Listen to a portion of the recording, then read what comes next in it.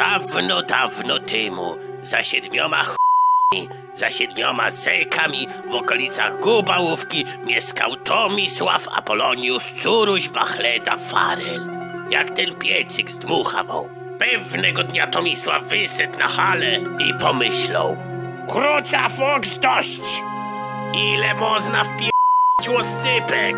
Ani to dobre, ani świarna, jakie drogie je...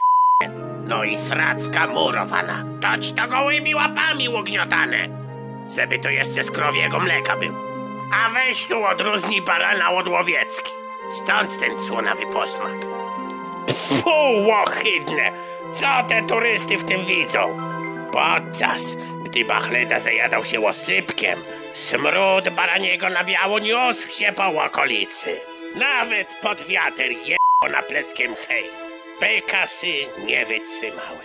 Fetor przepłoszył je z terenów lęgowych. Ryby w morskim łoku zdechły, a w czarnym stawie zdechły. Niedźwiedź gąsienica łobudził się ze snu zimowego i od razu poszedł pod prysznic. Lecz to nie tylko od niego tak po***ało. Niby po kąpieli smród bełta i gówna ustąpił, ale przez to woniu od stówy stała się jeszcze bardziej nieznośna. Lecz specyficzny zapach łobudził nie tylko misia. Łobudził też żądze. Łobrzydliwe, homoseksualne żądze. Śnieżny kockodan, przez niektórych nazywany też Yeti, dostaje smergla, gdy poczuje woń fiuta hej. Tak się składo, że łoscypek pachnie tożsamo. Koniec. Dziadku Tomisławie, czemu legenda o śniegowym kockodanie zawsze przerywa w połowie, hej? Co masz na myśli, hej? Nie łapisujesz swojego spotkania z Yeti, hej? Króca! Skąd wiesz, że ta historyjka jest o mnie? Tomisław Łapalonius Curuś Bachleda Faren. Są niewielkie szanse, żeby druga osoba nazywała się tak idiotycznie. Dziadku, nie chcę powtarzać plotek, ale... Godej, co go dają w mur za sichle?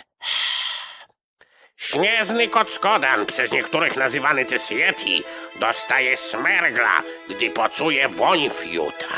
Tak się składa, że łoscypek pachnie to samo. Bestia normalnie żywi się owocami, ale łocet budzi w niej zbocenie. Tamtej nocy zesła z wierchu na hale wiedziona zapachem rozporka. Nieświadomy nicego Bachleda Farel zajadą właśnie syr. Pierwsze razy pasły w dupę hej. Little Boy małpy rozdupcył Hirosimę Bachledy. Potem koc Kodan założył strapona Big Ben i dzwonił jajami o brodę Curusia. Kosmar małpy trwał kilka dni. Bachleda nie chciał jej pościć. Donosił tylko sprzęty, od których małpie robiły się wielkie łocy.